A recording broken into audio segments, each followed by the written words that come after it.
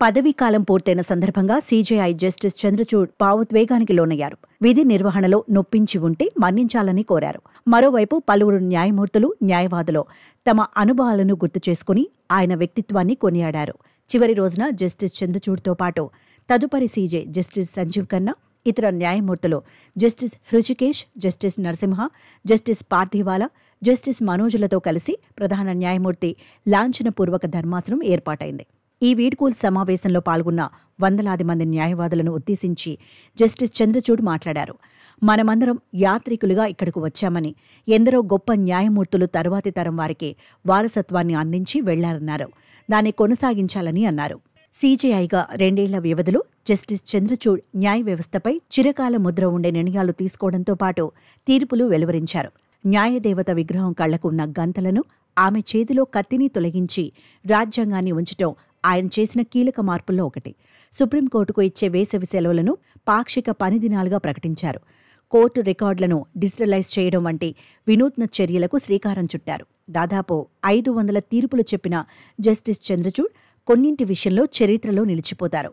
అయోధ్యలో రామమందిరానికి భూమి కేటాయించటం article three seventy రద్దు గే సెక్స్ నేరం కాదని చెప్పటం ఎన్నికల బాండ్లు రాజ్యాంగ వ్యతిరేకమని ప్రకటించడం వ్యక్తిగత గోప్యత ప్రాథమిక హక్కుగా గుర్తించటం అవివాహితకు కూడా అబార్షన్ హక్కు ఆయన వెలువరించిన తీర్పుల్లో అతి ముఖ్యమైనవి.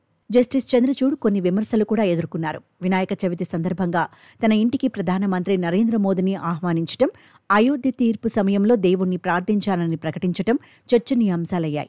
మొత్తం ప్రైవేట్ ఆస్తిని సేకరించే అధికారం ప్రభుత్వానికి లేదని తీర్పు ఇస్తూ సామాజిక న్యాయం రాజ్యాంగ విలువల పరిరక్షణ కోసం జీవితాంతం పోరాడిన కృష్ణయ్యర్ను విమర్శించటంతో ఆక్షేపణకు గురయ్యారు. ఢిల్లీ యూనివర్సిటీ ప్రొఫెసర్ సాయిబాబాకు హైకోర్టు బెయిల్ ఇస్తే రాత్రికి రాత్రే సుప్రీంకోర్టు దాన్ని రద్దు చేయటంతో జస్టిస్ చంద్రచూడుకు మానవ హక్కులపై ఉన్న గౌరవాన్ని ప్రశ్నార్థకం చేసింది.